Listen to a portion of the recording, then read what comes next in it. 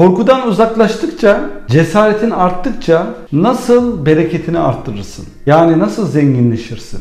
Nasıl cüzdanına yansır bu senin? Bütçeni nasıl büyütebilirsin? Korkularından uzaklaşırsan tabii.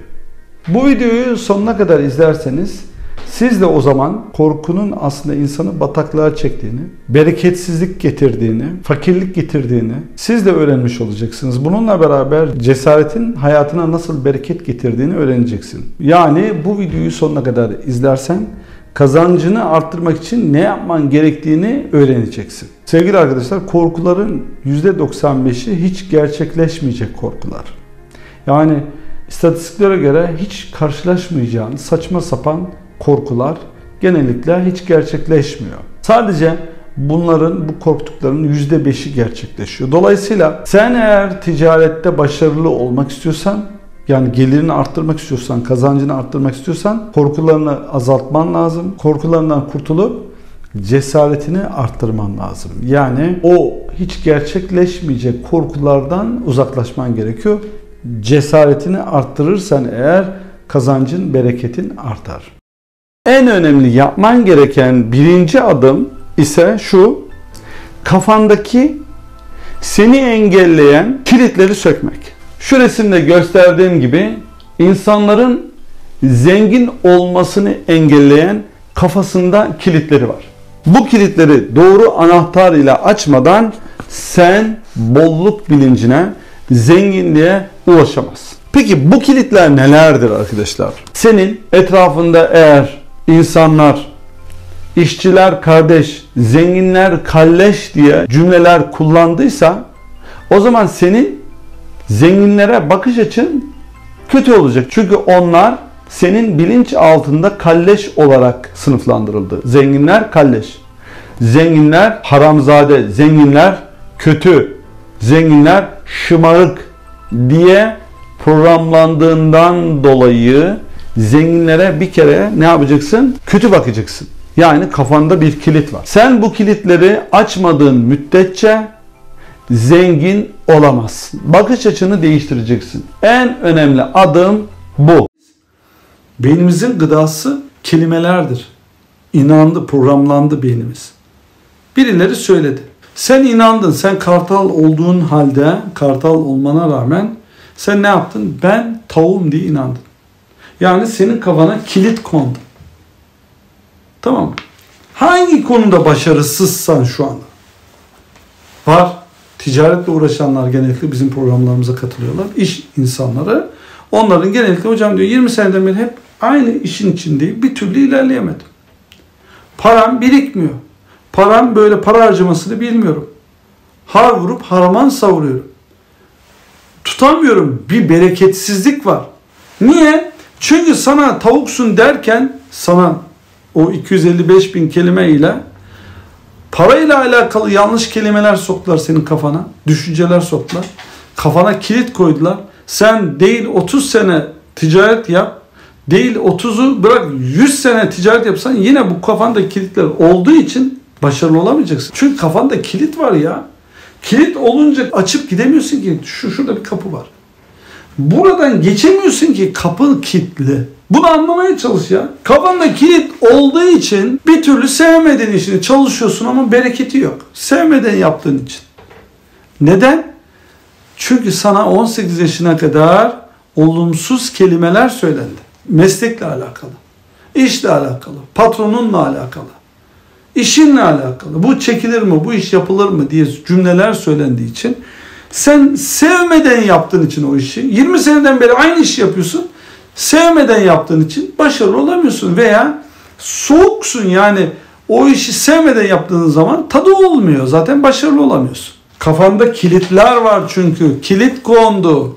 Birileri tarafından kilit kondu. Bunlar senin en yakın arkadaşların olabilir. Bu senin matematik öğretmenin olabilir. Senin komşun olabilir. Senin beynine virüs soktular. Virüs. Tohum attılar ve sen bunu besledin.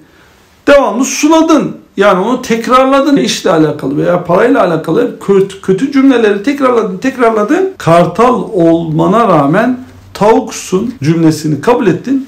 Tavuk olduğuna inandın bir çeşit. Kafanda kilitler beslendiği için öyle kaldı. Bak şu anda senin yaşadıklarının asıl sebebi kafandaki kilitler. Bunlardan dolayı sorunlar yaşıyorsun. Başka bir şey aramana gerek yok. Kartal olduğun halde sana tavuksun dediler ve sen tavuk olduğuna inandın. O yüzden şu anda yaşadığın sıkıntılar. O yüzden bir türlü başarılı olamıyorsun. Arzuladığın hedefe ulaşamıyorsun. Bir gün hayatımın en büyük dersini aldım babamdan. Babam para bozdurmak için bana oğlum cebinde bozuk para var mı dedi. Ve ben daha yeni tezgah kurmuştum okuldan sonra. Sadece bir iki feniğim vardı. Ben de dedim ki baba yok dedim. Para yok dedim. Babam hemen bana müşteriyi bekleterek bir iki dakika müsaade istedi. Dedi sana bir şey söylemem lazım oğlum. Senin cebinde hiç mi para yok dedi. Sana şu anda bir şey söylemem lazım. Bir mesaj vermem lazım. Sana hayatının dersini belki vereceğim şimdi dedi. Bu senin hayatını değiştirecek. Senin şu anda cebinde hiç mi para yok dedi. Yokladım. Vardı aslında biliyordum. Bir iki fenik çıkarttım. Var bak dedim baba. Var. Ama senin istediğin parayı bozamıyorum bu parayla. O yüzden yok dedim. Bak oğlum dedi. Hiçbir zaman yok deme. Yok dersen yok olur. Ne olursa olsun hiçbir zaman yok deme. Parayla alakalı olsun, sağlığınla alakalı olsun, huzurunla alakalı olsun. Ne olursa olsun elinde olan nimet çok küçük de olsa, çok az da olsa, para olsun, mal, mülk, huzur, sağlık ne varsa elinde hiçbir zaman yok deme. Yok dersen yok olur.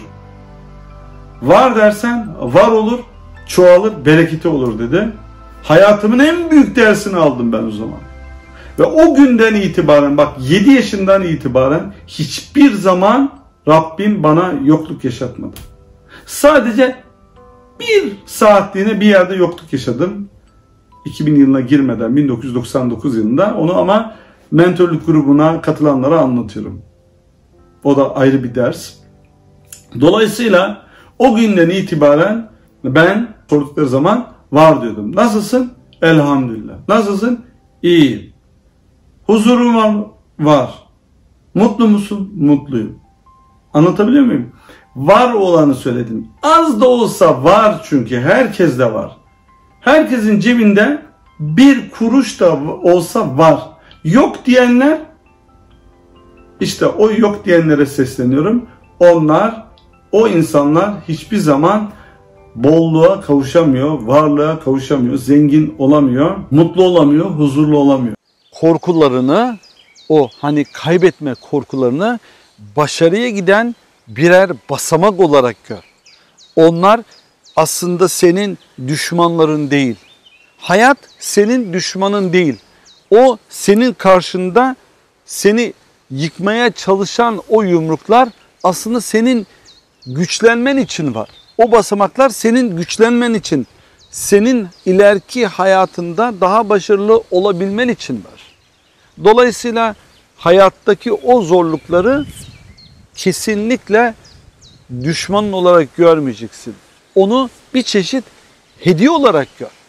O basamakları birer hediye olarak gör veya o korkuları fırsata çevir, basamak olarak değerlendir ve sadece üzerine bas ve yüksel. O korkular senin gelişmen için var veya hayat içerisinde zorluklar yaşadığın o sıkıntılar bunlar senin gelişmen için var sadece. Biz yıllardan beri Almanya'dan Avrupa'daki vatandaşlarımıza bu konularda yardımcı oluyoruz. Örneğin onların korkularını nasıl yenebileceklerini veya korkularını nasıl fırsata çevirip onları basamak olarak kullanıp başarıya, huzura, mutluluğa, kazanca nasıl gideceklerini onlara adım adım gösteriyoruz.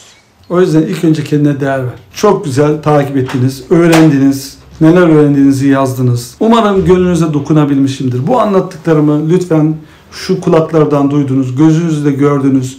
Beyninizde bir harmanlayın ve kalbinize indirin lütfen. Hayatınıza yansıtın. Her zaman söylüyoruz. Videolarımızın altında link var diyoruz. Linke tıkla.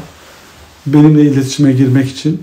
Linke tıkla, formu doldur, gönder diyoruz. Çok başvuru geliyor değerli arkadaşlar. Gerçekten çok değer veriyorsunuz. Ve programlarımıza katılmak isteyen çok kişi var. Biz onları bir sistemden geçiriyoruz. Her şey yeşil yanması lazım. Her şey okey olursa biz kişileri, kişiye yardımcı olabileceğimizi anlarsak, gerçekten bizim programımıza uyuyorsa, üzerindeki kadı elbisesini çıkarırsa, kadılığı ve çok bilmişliği kenara bırakırsa o zaman alıyoruz. Allah'a emanet olun. Kendinize iyi bakın değerli arkadaşlar.